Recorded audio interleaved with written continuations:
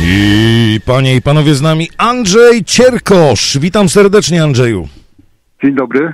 Dzień dobry, dzień dobry. Dzisiaj w Polsce Dzień Dobrych Wiadomości. Ja sprawdziłem e, wszystkie wiadomości, m, które na, docierały do nas z Polski i nie znalazłem dobrych wiadomości. Mam nadzieję, że, że u ciebie są dobre wiadomości. No same dobre wiadomości. Ach, Ja. Przede wszystkim zaprosić na, serdecznie zapraszamy na imprezę z okazji zakończenia lata. Brawo. Carton Hall 19 września, mamy z Lindenhurst organizują wspaniałą imprezę z domowym jedzeniem. Cały dochód idzie na program dwujęzyczny.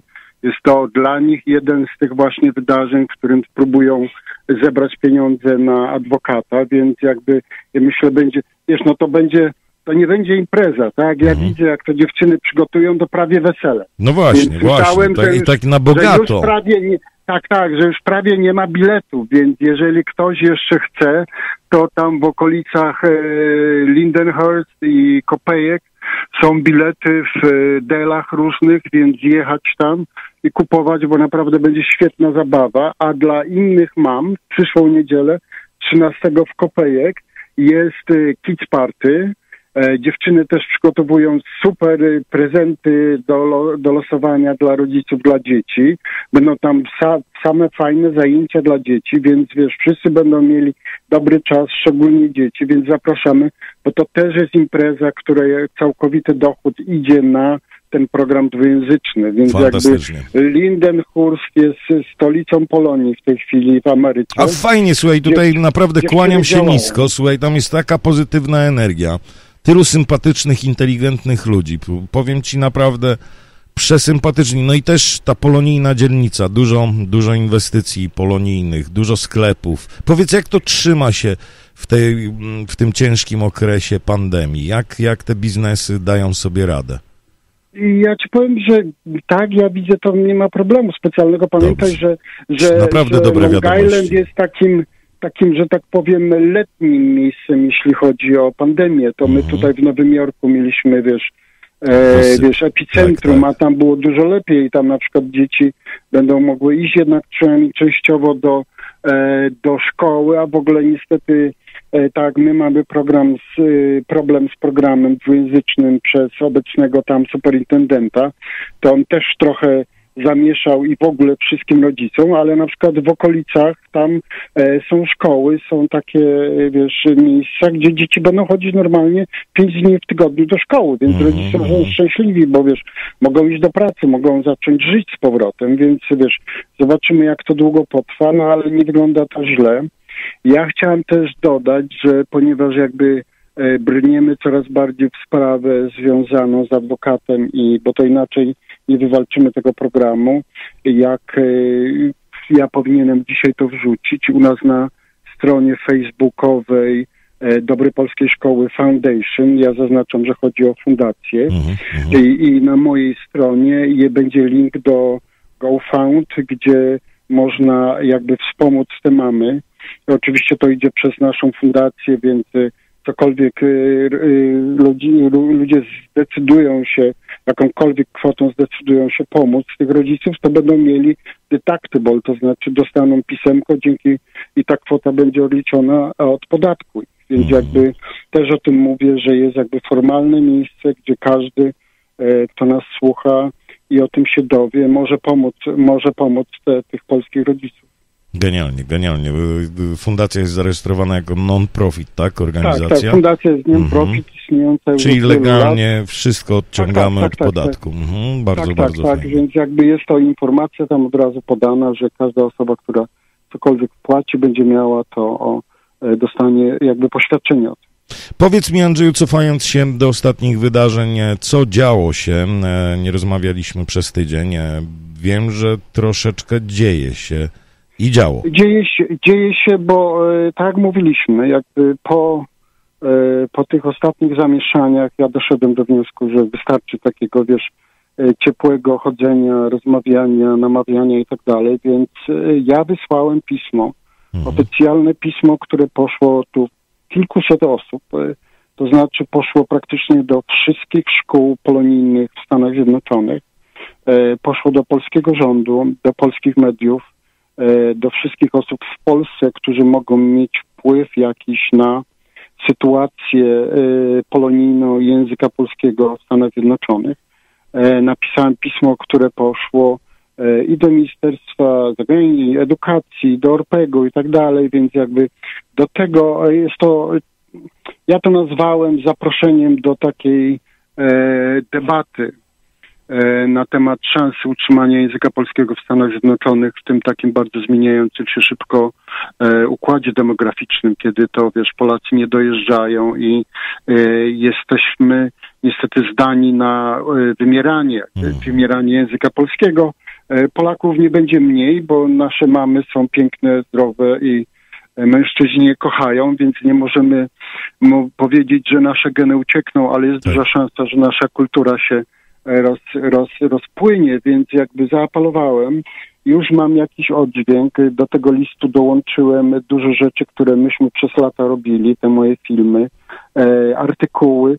Na razie nie dołączyłem jeszcze naszych wywiadów, ale, ale też je dołączę, więc jakby e, wiem, że coraz więcej ludzi nas słucha i zwracają na to uwagę, co, co mówimy, ale dobrze by było też, żeby i premier o tym wiedział, i minister spraw zagranicznych o tym wiedział, co się naprawdę u nas dzieje i to do nich dotrze, e, więc efekt już jest. E, ja mam nadzieję, że coś z tego będzie. Ja już dostałem pierwsze sygnały, że, że zaczynają w Warszawie widzieć, że jednak to jest temat, który, od którego nie uciekną. Więc wydaje mi się, że, że w tym względzie robimy coś. Więc jak ja nazywam to, że tak powiem, nazwę nie wiem, czy to dobrze, bo dzisiaj dobrych wiadomości dzień, ale wiesz, w tej ogólnej naszej sytuacji polonijnej, którą ja nazywam tak, przepraszam, tak powiem, ale tak troszeczkę szczytem komunizmu, jeśli chodzi o, o różne organizacje polonijne, więc y, to jest y, takie dobre światło na przyszłość.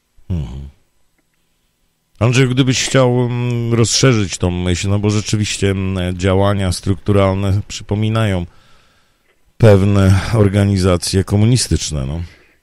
Nie, no tak, no bo jesteśmy w takim stadium, że wiesz, ja mówię coś takiego, że wiesz, tak z rozwojem i organizmów, i struktur społecznych i tak dalej, zawsze jest ten okres rozwoju, rozkwitu i później jest ten okres, kiedy zaczynają bakterie zjadać wszystko, co się da, rozumiesz? Więc mhm. y, ja myślę, że ten okres, kiedy właśnie w Polsce był komunizm, a tu była bardzo mocna Polonia, która tworzyła, budowała kościoły, tworzyła organizacje, tworzyła, wiesz, fundacje, które i funkcjonowały, istniały, wspierały się. I teraz jesteśmy w momencie, kiedy te największe organizacje jakby zostały okupione przez y, przeważnie małe grupki ludzi jakby i ja nie mówię, że one coś złego robią, ale jeśli chodzi o zarząd i demokratyczność ich, to to wygląda jak wygląda, więc, e, więc możemy powiedzieć, że albo jesteśmy przed, e, że tak powiem, e, rewolucją jakąś, która zmieni to i ja widzę ogromną szansę w tym właśnie pokolenia tych mam, które są w Lindenhurst, które mają ich, wiesz, dzieci rosną, one chcą jak najlepiej dla swoich dzieci, mają też siłę przebicia, mają możliwość zorganizowania się, mają do tego aparat i co najlepiej pokazuje ta grupa mam z Riverhead, jest to to jest żadna organizacja, po prostu dziewczyny się komunikują, wymieniają informacje, wymieniają pomysły, jak któryś się pomysł podoba, to potrafią go ciągnąć, tworzyć, zebrać. Wiesz, co niedzielę, co sobotę jechać na Jarcel, wstawać o 6 rano, żeby tam zawozić rzeczy, je sprzedawać, bo każdy dolar dla programu się liczy, więc jest to, ja uważam, że to jest taki historyczny moment, kiedy, kiedy nie czeka się na kogoś, bo było to pięć tygodni po tym zamieszaniu wywołaną, wywołanym ludźmi, lud, przez ludzi z centrali, ale już przeszliśmy to i, i wiesz, no ja widzę, że dziewczyny wręcz mają troszeczkę radości w tym, co robią i, i tak się trochę nakręcają i to bardzo dobrze, bo zasłużyły na to. Robią niesamowitą robotę i ludzie to widzą i ja myślę, że to jest najlepszy sposób na to, żeby żeby zmieniać tą, tą taką trochę komunistyczną strukturę, którą mamy tutaj. Nie? Miejmy nadzieję, że w każdej organizacji będą pojawiać się tacy ludzie i, i coś z tym będą robić, chociaż powiem Ci, że to będzie ciężko, bo jakby te, jakby, wiesz, mury, wiesz, yy, yy, wiesz, mosty zwodzone są zamknięte, więc jakby większość tych organizacji już tak to ustawiła, że praktycznie są nie do ruszenia, no ale nigdy nie wiadomo. Kto jak to, ale my Polacy o demokrację ponoć potrafimy walczyć. Nie? No chyba coraz gorzej z tym, wiesz, historycznie lata 80. o jakże, tak, tak, tak, zapominamy o tym, że obaliliśmy e, żelazną kurtynę, to my obaliliśmy komunizm, to my bezkrwawo walczyliśmy z komunizmem, no ale niestety te historie e, podzielenia nas na części i, i, i tworzenia nowej historii e, zrobiło bardzo wiele złego. Mam nadzieję, że tu troszeczkę to inaczej wygląda, chociaż e, jak obserwuję życie polonijne, e, to kółeczko wzajemnej adoracji, te artykuły, e, gdzie w niebogłosy mówi się o osobach, które no, są zasłużone, oczywiście historycznie, ale obecnie można by było mm, zadać im pytanie, co zrobiły dla Polonii tutaj w Ameryce i reasumując ich mm, takie, no powiedzmy, osiągnięcia, zasługi, no są bardzo, bardzo niewymierne, bo mm, nie mówię o pracy charytatywnej, ale e, prywatyzacja organizacji polonijnych, wyłączność, monopol na polskie domy jest karygodne. No tak, tak, to niestety, i wiesz, jakby już przez jakiś moment to tak naprawdę będzie coraz gorzej. Nie? No jakby Ale zobacz Andrzeju, kolejny polski dom na sprzedaż wystawiony, oczywiście teraz musimy ratować, składać się. Tak, tak. Jakoś to chyba nie działa dobrze. No nie działa, no nie działa, bo wiesz, bo gdzieś zatracił się kontakt, wiesz, z tymi ludźmi, którzy pracują ciężko, wiesz, y, mają rodziny, za które wiesz, kupują domy. E, wiesz, my jesteśmy bardzo wydajni, bardzo pracowici, bardzo sumienni i jakby gdzieś zerwał się kontakt między tymi ludźmi, a tymi, którzy są tymi działaczami, którzy, wiesz, są prezesami, dyrektorami, rozumiesz, i tak dalej. I oni nagle w momencie, wiesz, to jest, ja ci powiem tak, no, e, co tu dużo szukać? Nie wiem, czy słyszałeś, że e, jakaś fundacja w Afryce, mhm. ogłosiła, e, że każdemu e, jakby politykowi, który odejdzie ze swojego stanowiska, ja rozumiem, że tam bardziej chodzi o prezydentów w Afryce, czy premierów, czy coś takiego, który odejdzie w terminie, ta fundacja daje 5 milionów dolarów. I to było ogłoszone już bardzo dawno, dawno, wiele lat temu. Mhm. Jak myślisz, ilu jest tych ludzi, którzy otrzymali te 5 milionów? No nie wiem. Nie, no, Zero. No właśnie. Czyli Zero. dużo więc więcej dostają, jest, tak? No tak, tak, więc, więc tak jest wszędzie. Ludzie się dorwą do jakiejś organizacji i próbują robić z tym, co mogą. I czasami to im zajmuje 10 lat, walki polityczne, sądowe i tak dalej. I w końcu im się udaje, dlatego że my, zwykli ludzie, pracujemy ciężko, jesteśmy zmęczeni polityką, E, nie chcemy się tym zajmować, mamy inne rzeczy na głowie i, i ktoś inny to robi, no ale to zawsze tak było i jest, tylko jest pytanie, czy, czy tak powinno być, czy na przykład te programy dwujęzyczne, to, to taka świeża, świeże powietrze, które dochodzi, ta świeża nadzieja, bo ja głównie o tym pisałem do listu na przykład do Polski, do rządu i do, do wszystkich, że jakby ale wiesz, to jest ten moment wyboru, nie? Na przykład, co będą robić te polonijne organizacje, które teoretycznie powinny być z tym najwięcej wspólnego, nie? Tak, czy na przykład tak choćby... No szkoły, polonijne szkoły. No. Czy, czy zrzeszenie, które organizuje, organizuje w tej chwili sympozjum, Zrzeszenie Nauczycieli Polskich, czy centrala, która panu Zawiślakowi odmówiła spotkania na ten temat, bo powiedzieli, że są niezainteresowani, nie? Teraz jest pytanie, co, co będzie dalej. Są wybory w tej chwili w centrali. I teraz ja, dla mnie to jest taki, wiesz, y, papierek lakmusowy. Czy te dyrektorki, te, czy te nauczycielki, wiesz, polonijnych szkół, które wkładają w to serce i wiesz, i ducha i, i kupę pracy są za językiem polskim, za tym, żeby na przykład coś robić, czy na przykład ponowny raz wybiorą panią Andrakę, która od wielu lat robi wszystko, żeby to zastamować. Od tego pierwszego momentu w 2013 roku, kiedy z panią Winicką po prostu z, praktycznie zabiły program pierwszy dwujęzyczny, po te następne zdarzenia, aż do tego momentu, kiedy nie chcą zrobić forum i pan pan, pan Waldemar pisze list w ogóle do rodziców oskarżając programy dwujęzyczne i tak dalej, nie? Więc oni mogą teraz wybrać. Absolutnie oni mogą nie wybrać. pojmuję tego. Tak, więc oni mogą wybrać, nie? Jakby wszyscy wiedzą, wiesz, kolejni konsulowie opowiadają o pani Andrace i tak dalej, ale wiesz, no, pani Andraka jest wybierana przez dyrektorów. To nie jest przez nauczycieli coś tam. Przychodzi zebranie, na które przyjeżdżają sami dyrektorzy. Więc to dyrektorzy biorą za siebie odpowiedzialność za język polski w Stanach Zjednoczonych. Mhm. W jaki sposób? Oni się do tego deklarują. Wszyscy myślą, że oni reprezentują wszystkie polskie dzieci.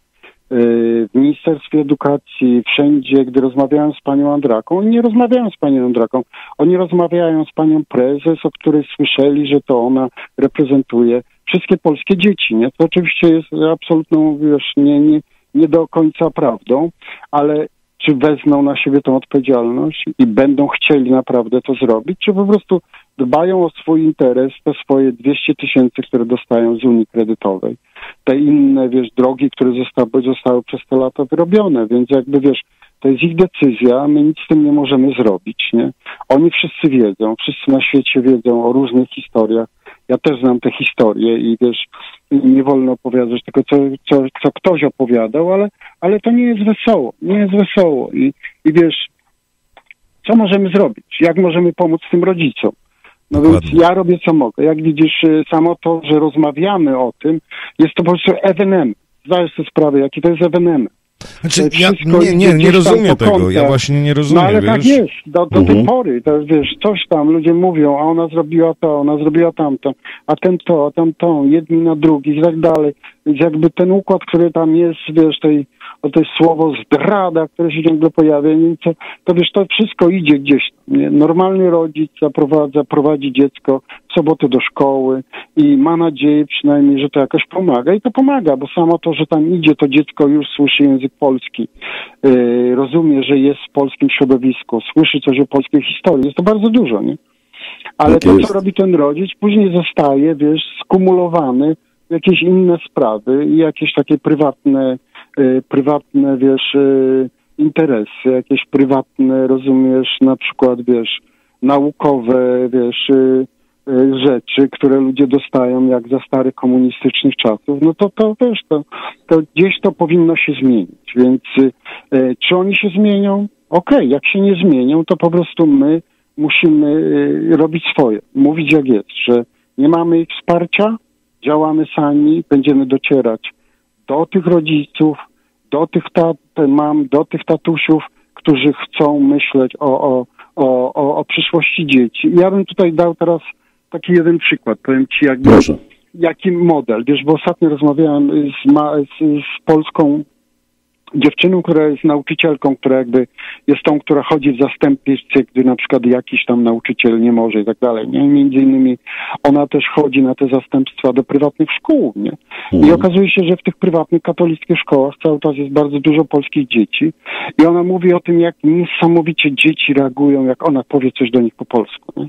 Od razu, nawet w tym drobnym, to nie jest program dwujęzyczny, tylko parę słów tej państwowej czy niepaństwowej, ale wiesz, takiej jakby oficjalnej szkole amerykańskiej, gdzie nagle słyszą język polski, nie? Jakie to jest dla nich dobre, jak od razu się lepiej czują, nie? Więc to jest jedna rzecz.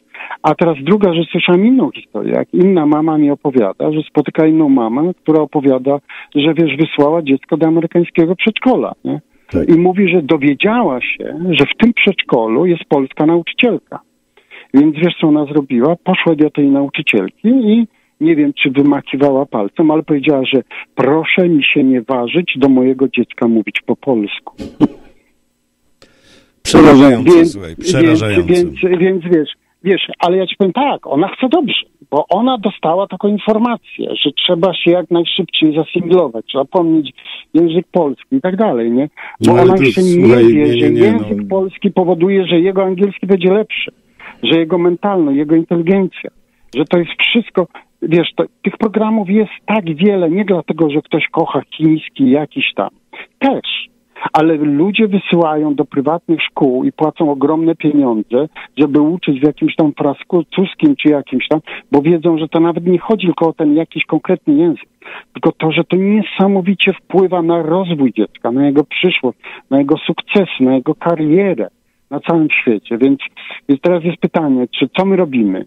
Czy ja jestem dyrektorką polonijnej szkoły I nie, nie, co wy gadacie, to nieprawda, nic się tam nie nauczą, to głupota w ogóle jest, będziecie robić zamieszanie w głowie dzieciom w ogóle i tak dalej, to powiemy im prawdę, czy się odważymy. Czy na przykład jakaś szkoła w okolicy Nowego Jorku, gdzie jest bardzo dużo polskich dzieci, zorganizuje spotkanie dla rodziców w tej szkole, żeby mogli się spotkać na przykład ze mną, czy z którąś z mam, która będzie w naszym komitecie, bo na koniec może powiem o jeszcze jednym dobrym, dobrej rzeczy, która się pojawiła. Bardzo proszę. Żeby rodzice na przykład mogli zapytać, dowiedzieć się. Zobaczymy. To jest teraz sprawdzian. Mamy panią Andrakę, mamy przeciwników i mamy może tych, którzy się odważą na przykład kandydować, może jednak, wiesz, ta polskość w nich zwycięży, więc i teraz na koniec jeszcze jedna sprawa. W przyszłym tygodniu, i to jest to, co ja napisałem też do Warszawy i wszędzie indziej, rusza przy naszej fundacji. Jest to komisja do spraw tworzenia i propagowania programów polsko-angielskich, programów dwujęzycznych w Stanach Zjednoczonych, która się będzie składać z kilkunastu osób. Mamy bardzo mocną grupę rodziców, pedagogów, nauczycieli, yy, wiesz, nawet prawników, więc ja, ja postanowiłem, że no ile ja mogę sam zrobić, nawet przy wsparciu Nowego Dziennika i innych e, mediów czy osób, które mi pomagają jak mogą, to tyle mogę zrobić, ile mogę. Więc jakby e, ruszamy z bardzo silną grupą i to sprawdzoną grupą, bo część z tej komisji to będą te dziewczyny, które walczą jak lwice właśnie w Lindenhurst. Mamy, mamy tutaj z Nowego Jorku, mamy ludzi, którzy będą mogli nam pomóc, którzy będą w stanie pójść, wiesz, oko w oko spotkać się z panią prezydentową i powiedzieć, proszę panią, dlaczego pani poszła do programu dwujęzycznego jak do zoo, żeby zobaczyć jak to, o, coś takiego się dzieje, a nie chciała się pani spotkać, żeby o tym porozmawiać. Rozumiesz? Więc y, jest nadzieja, przepychamy to y, i super, że możemy u ciebie to, to o tym mówić, bo nigdzie nie ma miejsca, słuchaj. Stałeś się niezbędnym radiem dla Nowego Jorku. Dziękuję, dziękuję. Dobrze, dobrze to usłyszeć. Andrzeju, No tak, no e, tak. tak, na koniec już em, musimy troszeczkę śpieszyć się, ponaglam cię. Zostają ostatnie minuty. Powiedz mi, e, co dzieje się w najbliższych dniach? Y, To znaczy, wiesz, w najbliższych dniach to jest ta sprawa związana z Lindenhurst. No niestety y, tutaj smutna sytuacja w Nowym Jorku, bo jak wiesz, ruszyliśmy tutaj niesamowicie y, spotkanie z, z, z panią superintendent Chan i wiesz, mogliśmy ruszyć z trzema programami.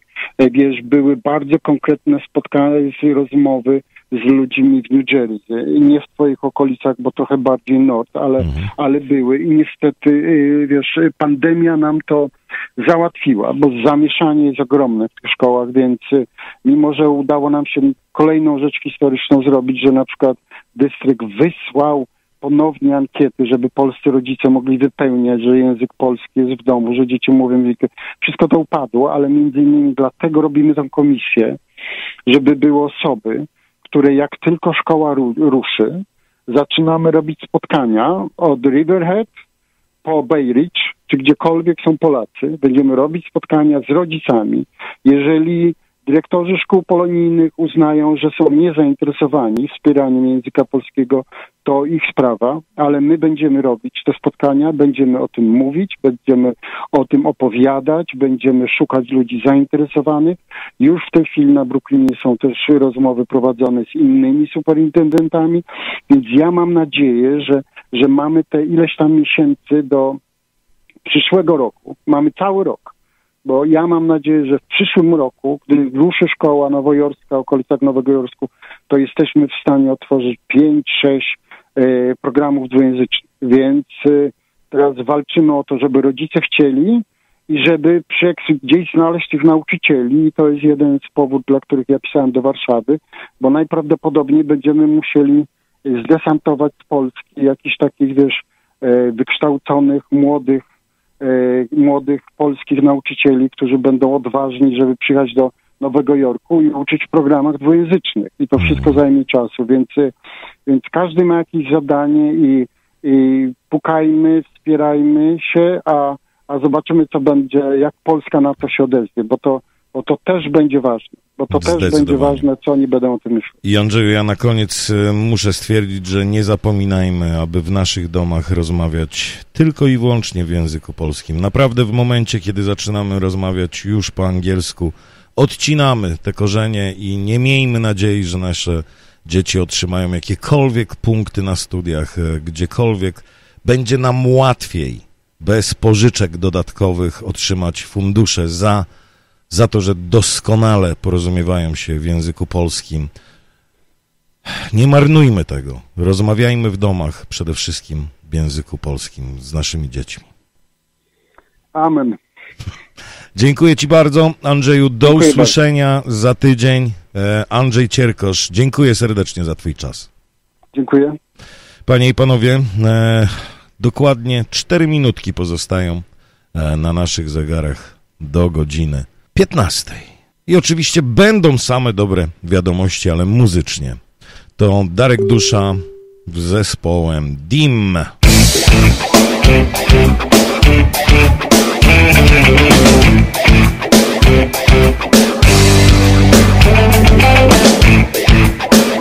Thank